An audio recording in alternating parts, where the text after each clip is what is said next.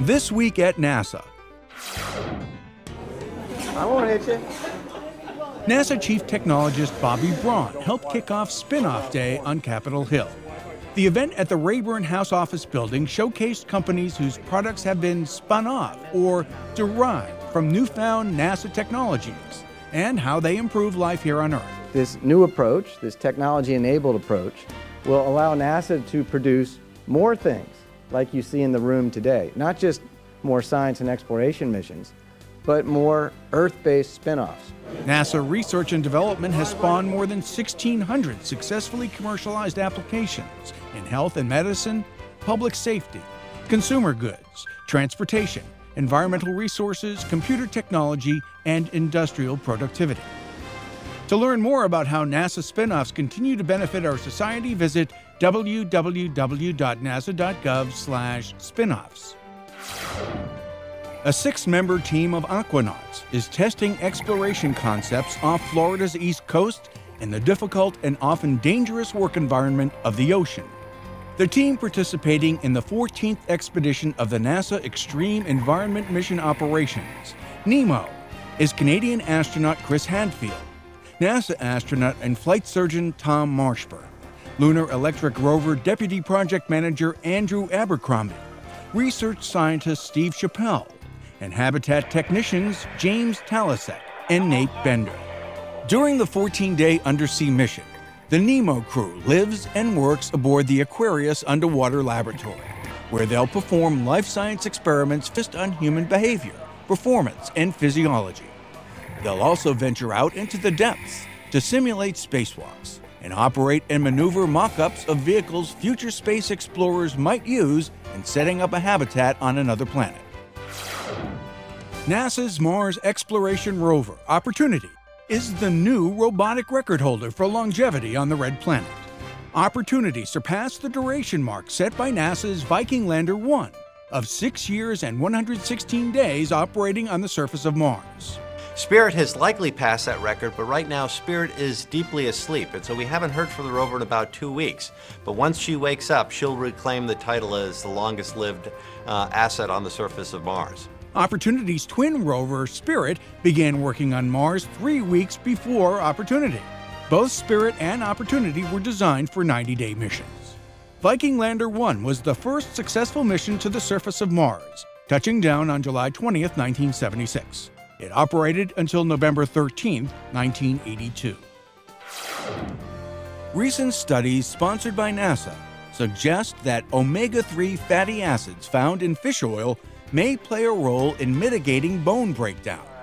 Bone density loss, a problem astronauts experience during long duration spaceflight, has long been a subject of NASA research. The fish oil connection could have broader implications not only for space travelers, but also for those susceptible to osteoporosis here on Earth. The study's results are published in the current issue of the Journal of Bone and Mineral Research. Thank you.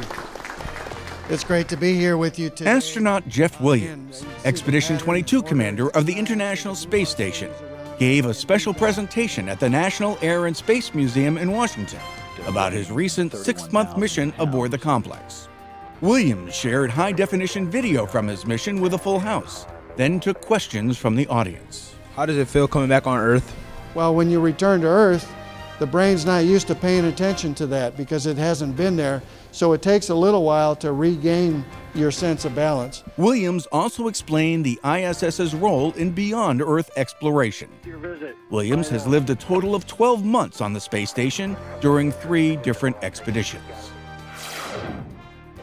The Jet Propulsion Laboratory held its annual two day open house for adults and kids alike. This is a chance for all these people to come out, be proud and boastful about the things that they're doing, and get a little energy back from this amazing crowd of people. The fun filled and educational experience celebrated the center's accomplishments and featured exhibits and demonstrations of JPL's ongoing exploration research.